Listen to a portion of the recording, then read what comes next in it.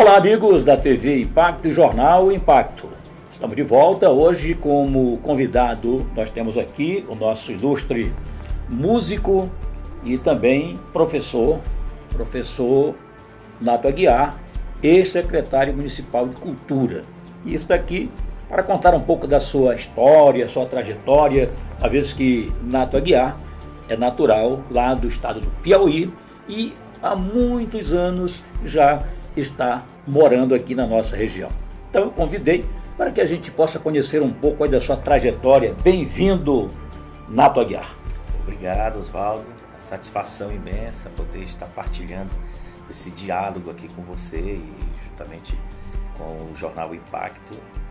E da minha parte é muito orgulho. É um prazer nosso recebê-lo aqui para contar um pouco, uma vez que, além de tudo, é, você já desempenhou atividade aqui como secretário municipal de cultura, mas antes disso tem aquele lado que começou, né? Você Isso. já foi músico desde lá do estado de Goiás, embora tenha nascido no estado do Piauí. Então eu queria que você contasse rapidinho essa, essa história é, do, do Piauí para Goiás para vir para a região. É, do Piauí eu saí com 14 anos. É, Nasceu em Teresina? Teresina, mesmo. Piauí. Aí eu saí de lá, fui morar com os tios meus lá em Goiás, que agora é Tocantins, na cidade de Augustinópolis. Inclusive estou até fazendo hino para lá agora. E fiquei lá dos 14 até os 18 anos. É, morando lá nessa cidadezinha lá de Goiás, inclusive foi o primeiro ano dela de, de instituir a cidade, quando eu cheguei lá em 83. Emancipou, instalou, né, senhor? É. E Aí então lá eu comecei a, a me dedicar mais um pouco de forma é, é, dentro do, de forma prática, né, dentro da música. Eu só antes eu só gostava, era curioso, já fazia algumas composições. E aí eu comecei a aprender a tocar violão lá em Goiás e comecei a participar de festivais e ganhar alguns festivais lá na região. Show de calouros também. Uhum. Aí entrei numa banda.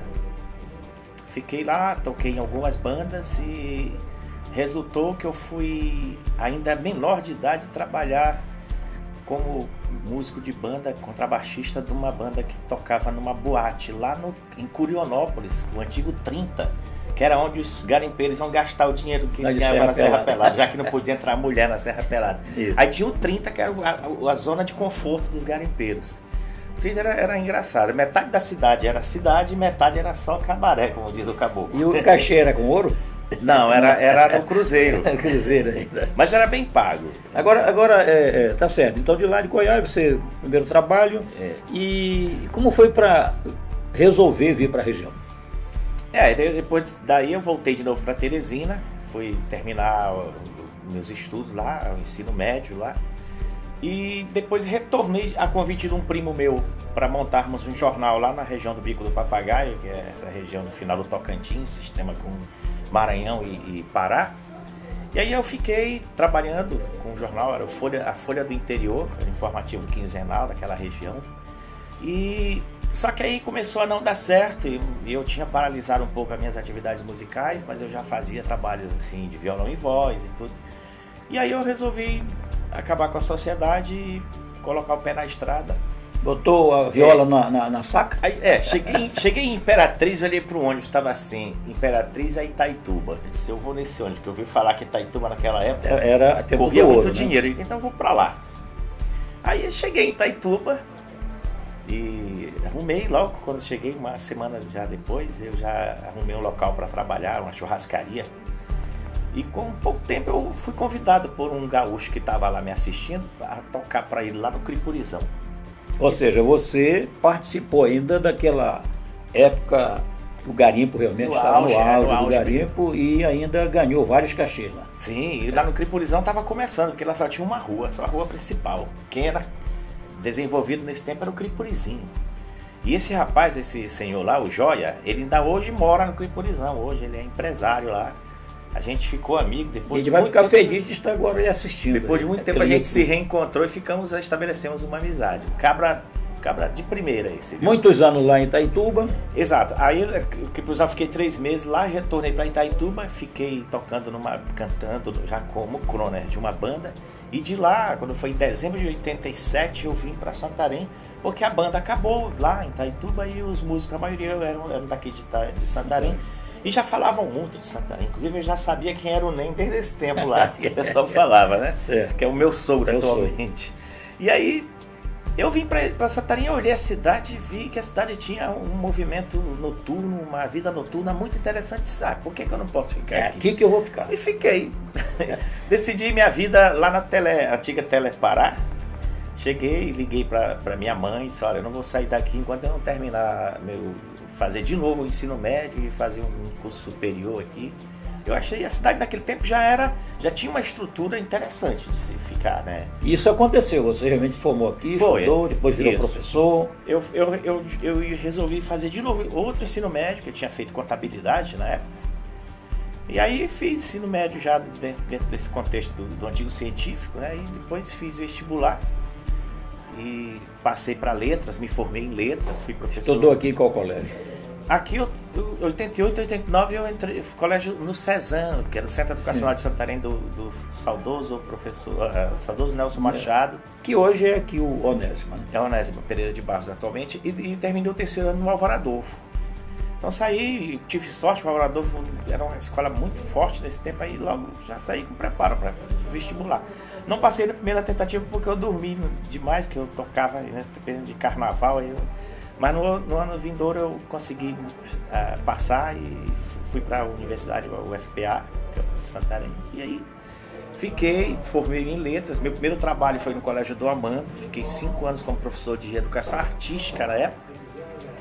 E depois eu pedi demissão do Colégio do Amando porque eu, eu, eu consegui um contrato no sistema modular de ensino, que é o atual SOME. Pelo Estado, né? Pelo Estado.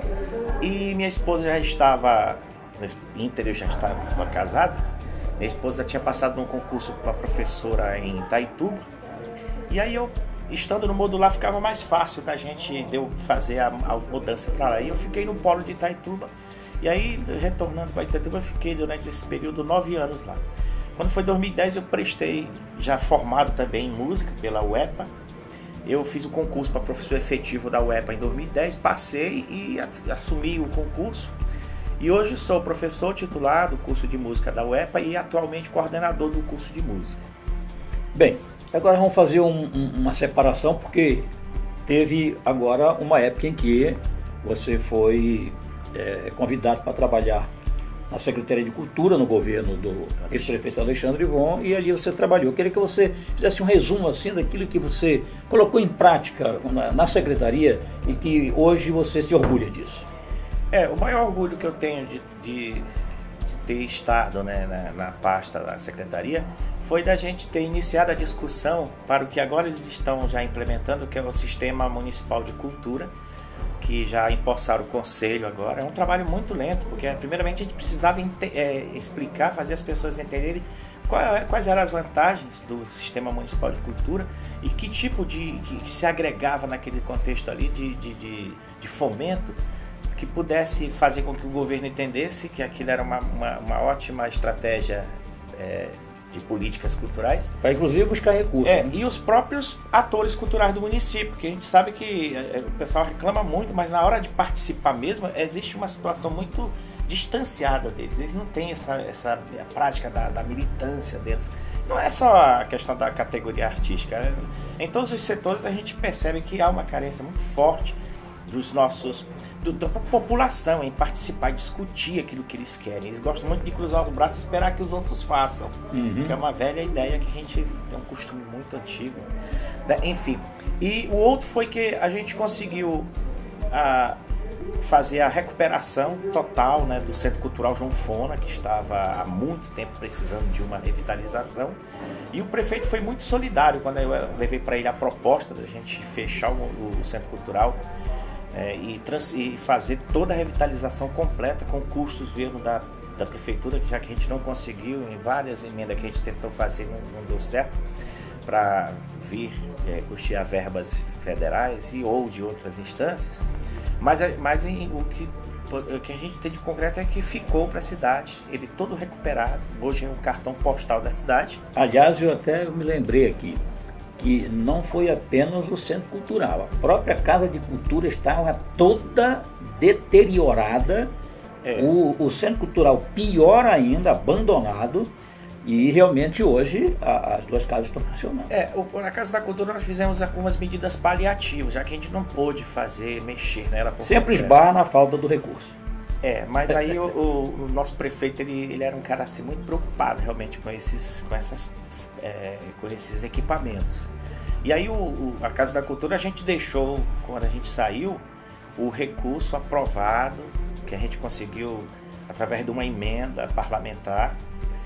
É, a, a gente deixou, agora já estão, já tá, falta, só falta eles entregarem agora para a população, para os artistas também, é, é, nós deixamos lá o recurso, a primeira parcela já depositada né, em caixa, foi no final de 2016, é, de um, da, da aquisição do, do, som definitivo da Casa da Cultura e da iluminação definitiva.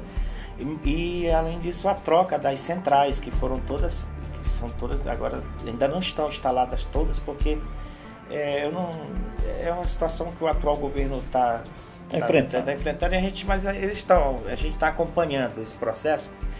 É porque tudo tem que haver licitação e não pode ter, ter nada errado, então tem toda uma situação. Mas isso já para agora, para esse ano, eles pretendem entregar que para a população vai ser uma coisa. E para o próprio governo economizar com essa questão, que era sempre uma, um Tanto gargalo. aluga equipamento, é, equipamento. gargalo que a gente tinha, né? Agora a Casa é da Cultura vai ter esse som já definitivo e a iluminação cênica né? Na, no palco. Claro, essa situação das, centra, das centrais, do, de, todo, de todas essas, essas conquistas que nós pudemos é, deixar, né? Enquanto secretário, nada mais foi do que a, a nossa obrigação à frente da pasta.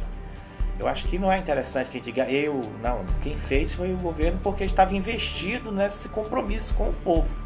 Então, quem, quem, o grande resultado é a população que tem que estar é, satisfeita e, e prestigiada nesse contexto, né?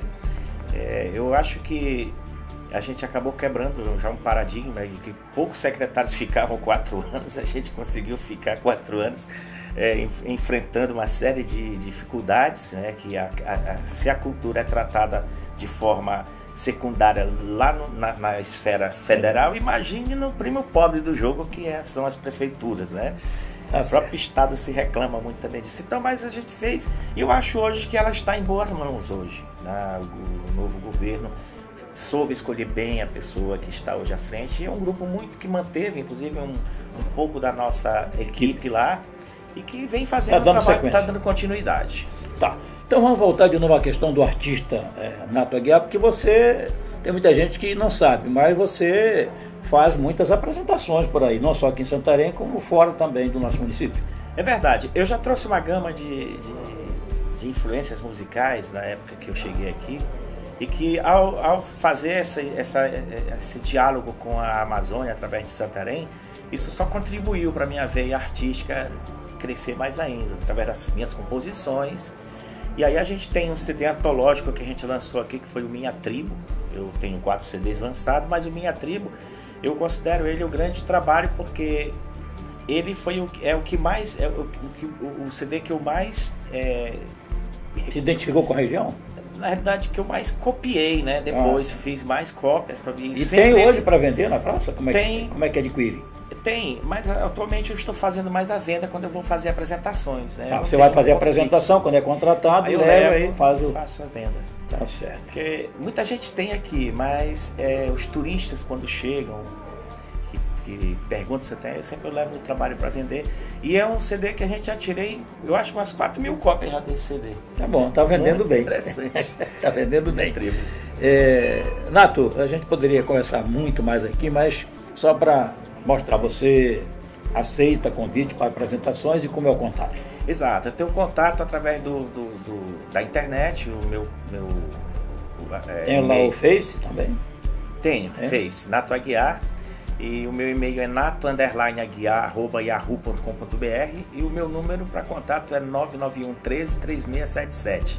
Quem quiser contratar para um eu aniversário. Não, é, eu só não estou agora totalmente é, no mercado é, é, igual como eu estava antes, porque eu estou concluindo um mestrado em educação, cuja defesa é agora no final de agosto. Então eu estou na fase de, de fazendo o, a análise dos dados e fazendo a revisão final do texto meu, que senão não vai ter tempo. Aí se eu ficar muito me ocupando com música, não vou ter muito tempo. Aí de setembro em diante pode A partir chamar. de setembro, Nato Aguiar volta para as paradas aí, com força total, inclusive com CD novo, que tem muita coisa inédita que ainda não pude mais mostrar por conta desse, desse, dessa ausência que é necessária. Bem, e antes de terminar, esposa assistindo. Isso, minha família. Pode é, se dirigir. Meu sogro, grande Nene do Sax, é, que é a família que eu tenho aqui, né? A minha esposa, filha dele, minha cunhada, minha sogra, grande Elza. Minha filha que está lá em Portugal, a gente vai mandar pedir para ela acessar lá. Com certeza. A Mona Lisa e o meu filho Eduardo. E os amigos de Santarém. Eduardo também está no caminho da música ou não? É, ele, ele é muito musical, ele. Só que é aquele cara que ele, ele é uma geração diferenciada, ele uhum. gosta mais da tecnologia. Certo. É, e aí também o, a ênfase maior que eu faço é para os amigos de Santarém, porque é uma das coisas que mais me orgulha de ser hoje Bem, você é um, de coração. É, um bom piauiense, é, nascido em Teresina e ficou bem próximo do nosso grande amigo Dirceu, né, que também tem uma é... propriedade lá em Batalha, que tem aqui aquela venda né, que a gente frequenta lá de vez em quando. Né? Exato, mas, mas eu me apaixonei muito pelo jeito paraense do povo de ser. Né? Então, esse jeito paraense é único. É, então eu sempre falo lá no Piauí, quando eles perguntam o que, que tem lá que aqui não tem. Esse cara é o calor humano. Tu passa 10 anos sem ver uma pessoa lá no Pará, quando tu encontra, parece que tá te vendo, se vendo todo dia, aquela vontade de nada, nada, aquela alegria. E, e aqui lá no Piauí o povo é um pouco mais frio. É, pelo menos o pessoal da capital. O pessoal do interior não, que sabe que interior o povo, uhum. o povo é mais carente na questão de relação, assim, de amizade.